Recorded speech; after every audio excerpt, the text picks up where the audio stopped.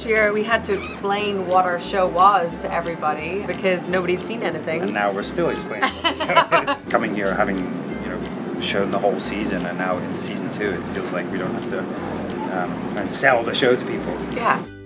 Panel is tomorrow. I was just told today how many people are going to be there, so that was a little intimidating. Like 4,000. Oh, I was told it was only four. No, no, no, it's 4,000. Oh, okay.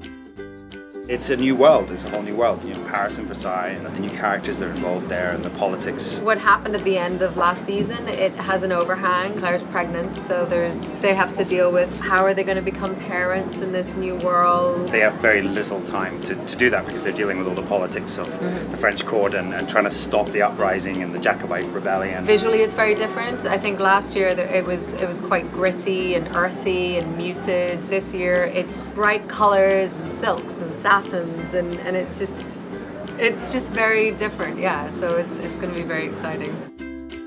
They'll probably have to work on being in one place at the one time. Yeah. I think, even though they're two people from very different times, um, they have a similar outlook on life, and I think that's going to be something they're really going to instill in, in, in their in their child. Jamie probably thinks he's going to be a great dad, um, but I think when he's actually faced with it, it's going to be a whole new, uh, a whole new ball game.